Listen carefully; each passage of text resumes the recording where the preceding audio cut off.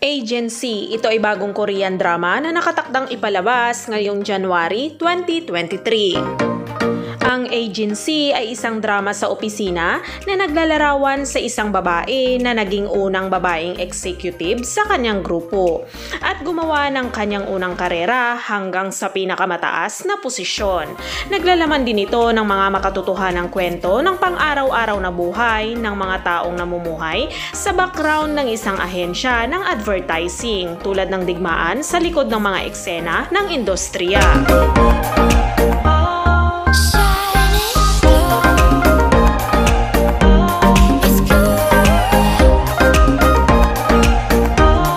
Actress Libuyang ay gumanap bilang si Guain na isang creative director na namumuno sa production team 2 ng VC Planning, isang nangungunang ahensya sa advertising.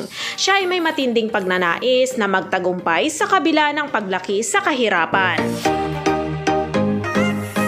Si actor Jo Sung Ha naman ay gumanap bilang si Choi Chang-so, ang director ng planning division ng VC Planning na nagsusumikap na maging CEO.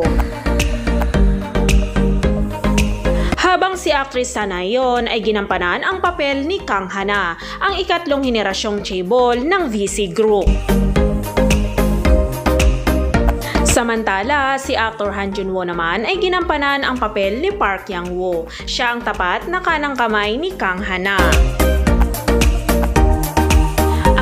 agency ay meron itong 16 episodes at nakatakdang ipalabas sa January 7, 2023. Ipapalabas ito tuwing Saturday at Sunday sa JTBC Network. Oh,